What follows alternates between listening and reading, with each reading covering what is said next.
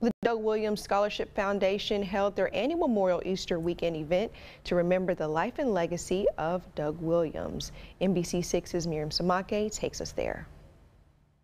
Let's go. All right, let's go. Come on, John. All right, let me hold the ball. On Easter weekend, the Doug Williams Scholarship Foundation hosts a time for community, basketball, and fun. To honor the life of Doug Williams, a teenager who lost his life to gun violence. And so they were just out in the park, and um, somebody started shooting. And they just scattered and ran, and he was one of the ones that, you know, um, was, was shot. She says her brother was a role model, honor roll student, and loved basketball. The foundation holds events like basketball camp and provides scholarship to help further educate young people. Y'all came to play basketball. What y'all what y'all come for today? Tangia Taylor volunteered as referee and coach. She works for Wise Butterfly, a nonprofit organization that works with troubled youth. And to just um, lose his life so senseless over just what is being displayed.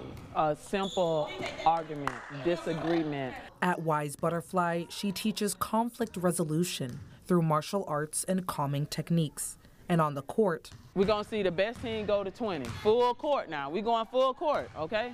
teamwork and unity, something that Doug Williams' coach wishes for the whole community.